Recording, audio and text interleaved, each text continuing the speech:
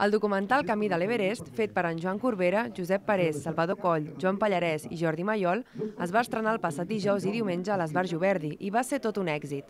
Abans de tres quarts de vuit del vespre, molta gent ja s'havia quedat a les portes del cinema, perquè no hi havia entrades per cap de les dues projeccions.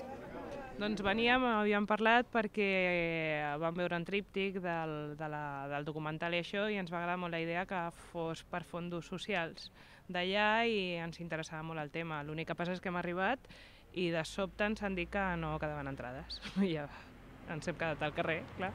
Estan totes esgotades per avui, per diumenge i les sessions que feien. Aquest documental està fet a partir dels vídeos i les imatges que els senderistes van fer durant el seu recorregut cap al camp base i així ho van explicar als espectadors abans de projectar el documental. Els beneficis de la projecció i de la venda del DVD, que també han editat, aniran destinats a la reconstrucció de l'escola de Volum, afectada pel terratrèmol del maig de 2015.